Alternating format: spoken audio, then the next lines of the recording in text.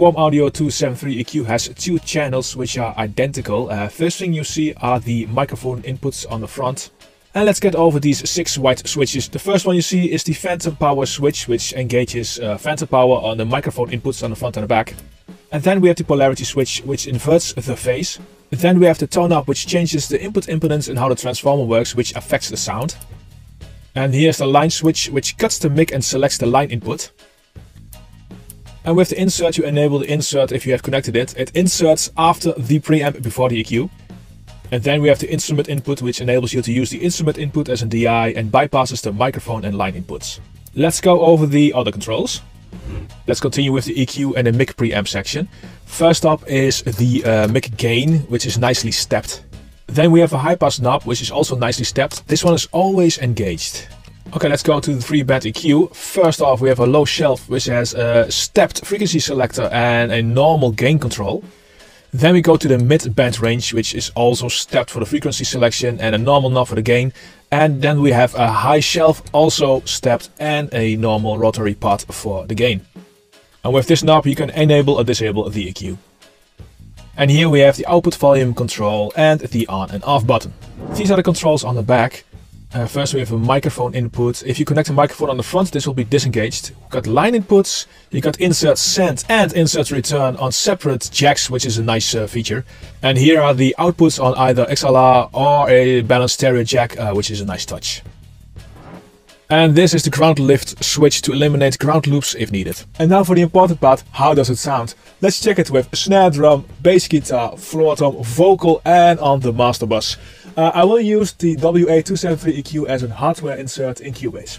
Let's start with the snare drum. This is the original snare. And now I'll insert the WA273.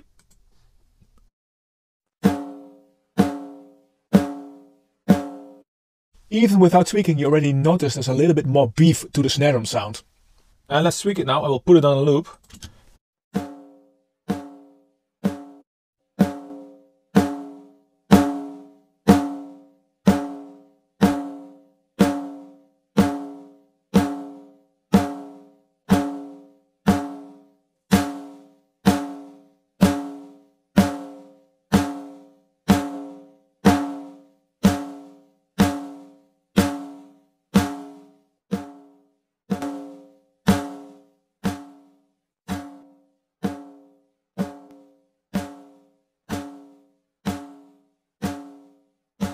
Uh, you can hear you can really shape the sound of a snare with the warm audio. Uh, you can go from subtle warmth to really aggressive. Let's do it now.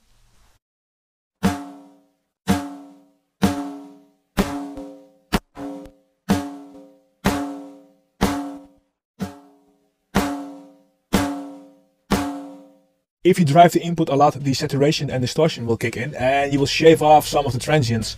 If you go for that sound, you don't even have to use a compressor. Let's go over to the bass guitar.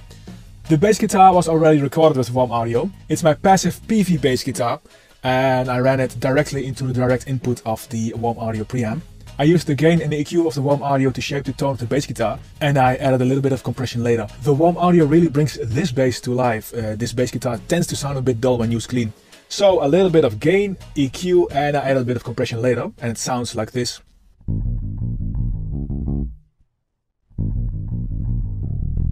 And for the sake of this review, let's play around with the warm audio again.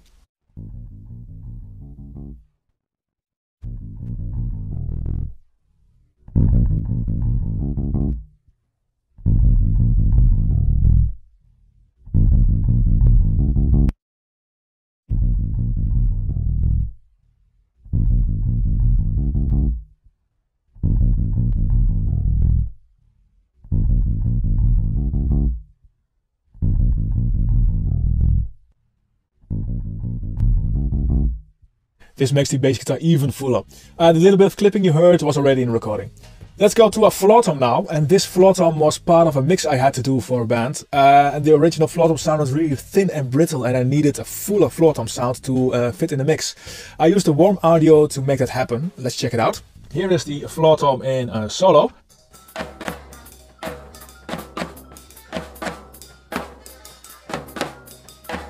Okay, let's loop the floor tom and use the warm audio.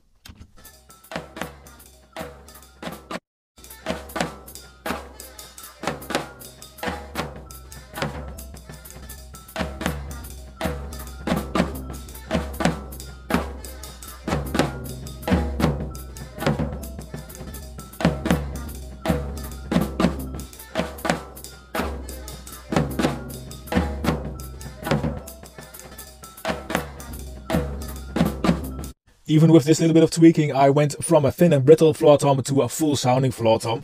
Uh, the original floor tom almost sound out of phase now. Okay, let's go to a vocal. The vocal here was recorded clean with a tube microphone. Let's tweak around with the warm audio. With your deep red eyes, begging me for more. I must be some kind of god to you. The things you do just to score. Telling me that you do everything, but I don't need that ass. I can give you everything you need. I just want your cash. Come to me with your deep red eyes, begging me for more. I must be some kind of god to you. The things you do just to score. So by increasing the gain and playing with the EQ, the vocal is more constant and has more push. Little tweaks do a lot with the warm audio. And finally, let's check out the warm audio 273 EQ on the master bus in mid-side mode. It does not support mid-side by itself, but I will use uh, the Voxengo MSED plugin to uh, make the warm audio into a mid-side unit. Check my review here.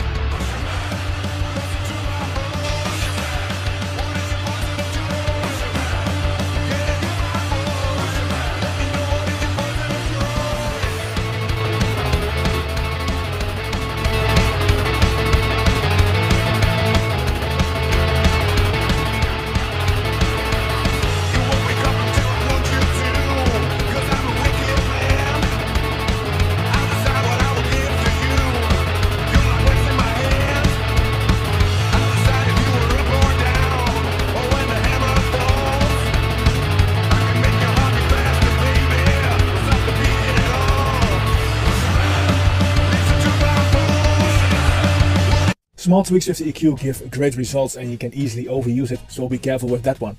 The reason why I chose this unit is because it's flexible and fits my workflow. I need to record, mix and master and I can use it in all three situations. I can always record two microphones from the recording room by using the microphone inputs at the back. And if I need to record from my mixing room, I can use the front. It will cut out the other microphones. I use it as an insert effect in Cubase by using the line input, so I can select a line.